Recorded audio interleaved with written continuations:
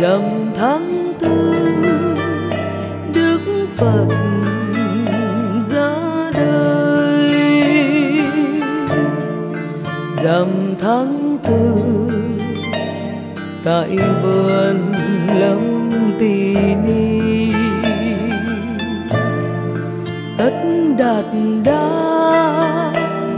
từ bi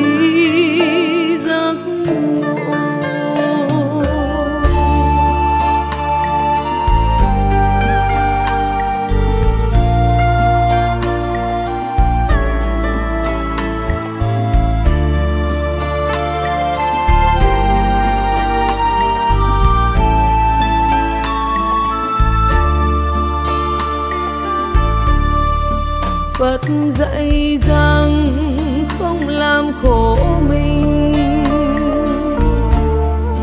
Phật dạy rằng không làm khổ người. Phật dạy rằng không làm khổ chúng sanh.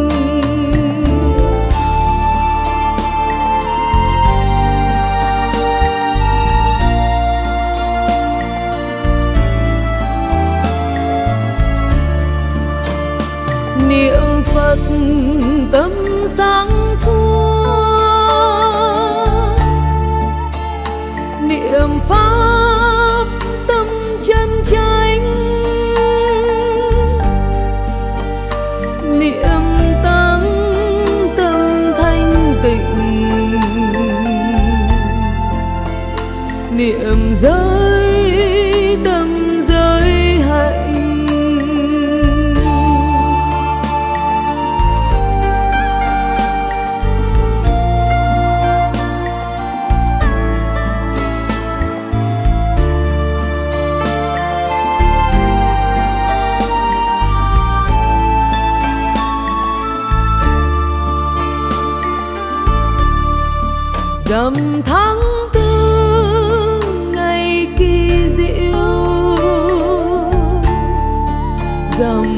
tháng tư đón mừng phật đàn. Dầm tháng tư huyền vi nhiệm màu. Tất đạt đa thích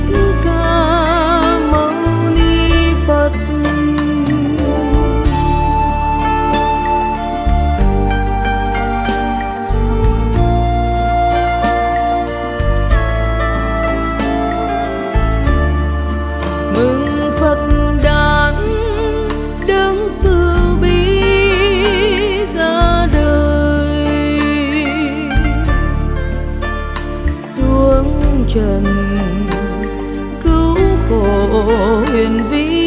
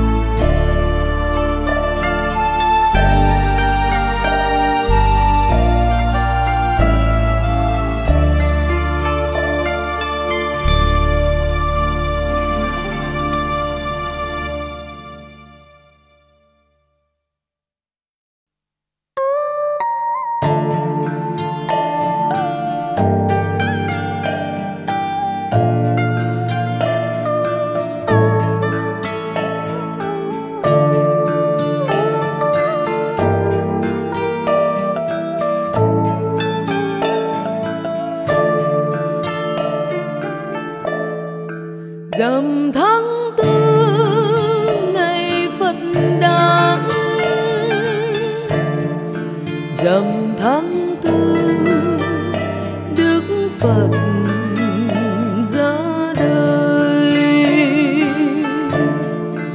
Dầm tháng tư, tại vườn lâm tỳ ni, tất đạt đa